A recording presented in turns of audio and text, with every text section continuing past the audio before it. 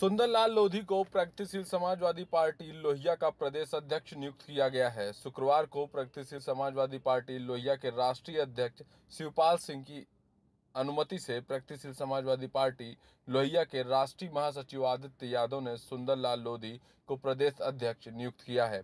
Party में लंबे समय से प्रदेश अध्यक्ष पद को लेकर विचार विमर्श चल रहा था। चुनाव से पूर्व विधायक सुंदरलाल लोधी को प्रगतिशील समाजवादी पार्टी लोहिया का प्रदेश अध्यक्ष बनाया गया है। 28 दिसंबर शुक्रवार को पार्टी की ओर से पत्र जारी कर उन्हें पार्टी का प्रदेश अध्यक्ष मनोनीत किया गया है।